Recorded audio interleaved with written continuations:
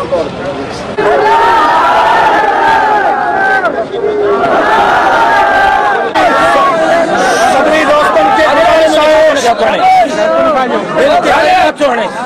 थी यार तुंहिंजो राहकार आहे तुंहिंजो मुलाज़िम आहे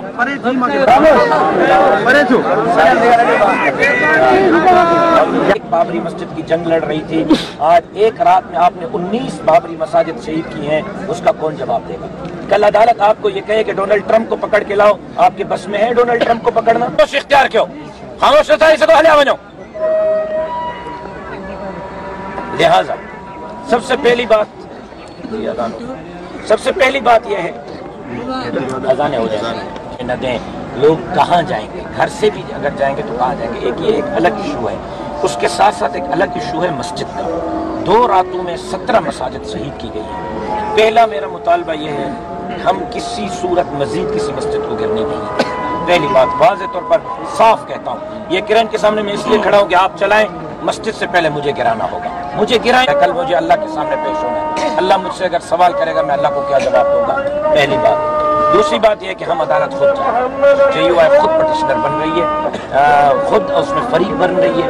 अदालत से हम पूछने जा रहे हैं कि अदालत अपने डिसीज़न की वजाहत करे कि उसके अंदर मसाजिद का हुक्म है या नहीं। अदालत का हुक्म है, हम सोचेंगे कि हमने क्या करना है। अदालत के सामने धरना देना है, सुप्रीम कोर्ट जाना है रिव्यू अपील करनी है, जो भी है। अदालत के डिसीज़न के बाद हम अपना डिसीज़न लेंगे।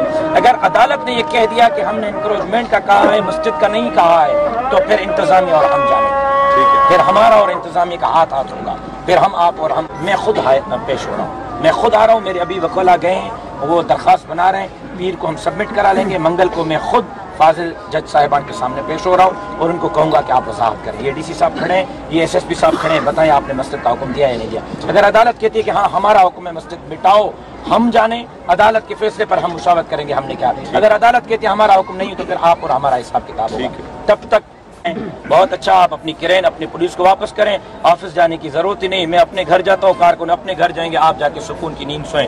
और अगर नहीं आप जिद हैं कि मस्जिद गिराना है तो फिर मेरे सर से गुजर कर मस्जिद गिरानी होगी। ऐसे आपको मस्जिद गिराने नहीं देंगे। खुदा के लिए लोगों की जोगियों को मत गिराएँ। लो, लोगों को बेघर मत करें। मैं आपसे दरखास्त करूँगा अपील करूँगा। अब आपका फैसला है कि आप क्या करते हैं। आपने किस तरह उसको डिसीज़न लेना है? मस्जिद की तरफ़ आप अदालत के डिसीज़न तक मैं इसी मंगल को आपके साथ खड़ा रहूँगा। मैं अदालत आ रहा हूँ मेरी लीगल टीम काम कर रही है। हम रिव्यू के लिए जा रहे हैं। मस्जिद पर आप अदालत के डिसीज़न तक मस्जिद की तरफ़ नहीं आएँगे। जो मस्जिदें शहीद हुई है मैं आपको अभी बता रहा हूँ। वो मस्जिदें या आप बनाएँगे या मैं बनाऊँगा। बनाएँगे ज़रूर उसके अलावा कोई काम नहीं होगा। ये मैं आपको बता रहा हूँ अदालत के डिसीज़न का इंतज़ार करते हैं उसके इंतज़ार के बाद हम आगे चलेंगे इसी पे ठीक है ना जमीयत उलमा इस्लाम मंगल को बाकायदा उसमें फरीक बनने के लिए दरखास्त दे रही है। मैं खुद इन मसाजिद का केस लेकर मंगल की सुबह हाई कोर्ट पहुंचूँगा। फाजिल जजों के सामने ये रखूँगा कि वो मेहरबानी करके वजाहत फरमाएँ कि आया अदालत ने यह हुक्म दिया है कि मस्जिदों को गिराया जाए। 19 मसाजिद अदालत के हुक्म पर गिराई गई हैं। अगर अदालत कहती है कि हाँ मसाजिद हमारे हुक्म पर गिराई गई हैं तो हमारी लीगल टीम बैठकर उस पर मुशावरत करेगी कि हमने रिव्यू में जाना है, सुप्रीम कोर्ट जाना है, हाई कोर्ट के सामने धरना देना है, मुजाहरा करना है, जो भी है, हम बाद में उसको फैसला करेंगे। अगर अदालत कहती है कि नहीं, हमने मस्जिद गिराने का हुक्म नहीं दिया, फिर इंतजामिया के साथ हमारे मामला होंगे। ये वाज ऐलान आपको यकीन दियानी कराता हूँ अभी अदालत के फैसले तक आगे कोई मस्जिद इस इलाके में नहीं गिरेगी। डीसी साहब ने वादा किया है, जो मस्जिदें गिरी हैं, मैं आपसे वादा करता हूँ, अगर मेरी जान में जान रही, मैं मस्जिदें दोबारा आपको तामीर करवा के दूँगा। मोहम्मद